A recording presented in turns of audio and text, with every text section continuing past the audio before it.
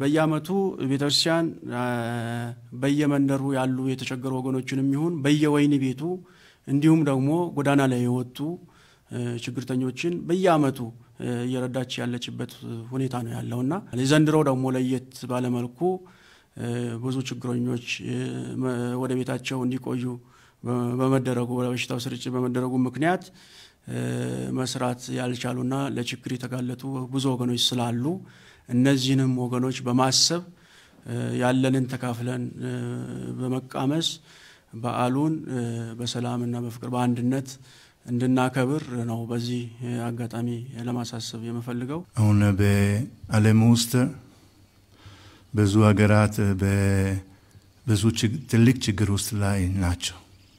ብዙ ሰዎች ሞቱ፣ ብዙ ሰዎች የተሰቃዩ ናቸው።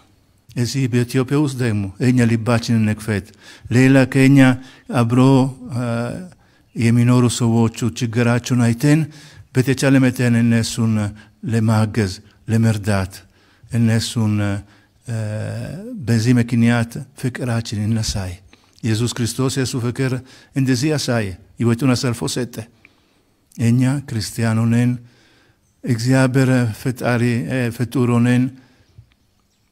እኛ እንደዚህ ማስብ አለብን። ልባችን ለሌሎች በተለይም ለተቸገሩ ሰዎች መክፈት ይገባናል። በዚህ ዓመት የትንሣኤን በዓል ለየት ባለ ሁኔታ ነው የምናከብረው። ዓለም በትልቅ የኮሮና ቫይረስ በተጨነቀችበት ባዘነችበት ሰው ሁሉ በቤቱ በሩን ዘግቶ በሚቀመጥበት ወቅት ነው የምናከብረው።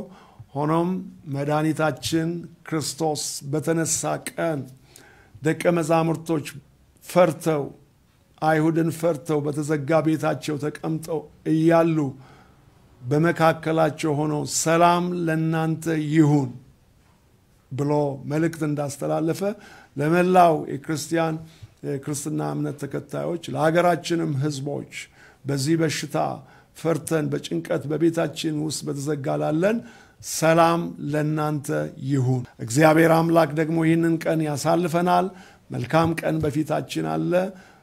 ከዛም ደግሞ እግዚአብሔርን በጋራ የምናመልክበት ቀን ስለሚመጣ በሐዘንና በትካዜ ሳይሆን እግዚአብሔርን በማመስገን የተራቡትን አቅም የሌላቸውን ምስኪኖችን በማገዝ እንድናከብር አሳስባለሁ። እንግዲህ የዘንድሮ የ2012 የጌታችን የመድኃኒታችን የኢየሱስ ክርስቶስ ብርሃነ ትንሣኤ የሰላም የጤና እንዲሆንልን እመኛለሁ። እንዲሁም ደግሞ ይህ በዓለማችንና በሀገራችን የተከሰተው በሽታ ተወግዶ መጪው ዓመት ሁላችንም በፍቅር በሰላም በአንድነት እንድናከብር እግዚአብሔር አምላክ ያደርሰን ዘንድ እጠይቃለሁ።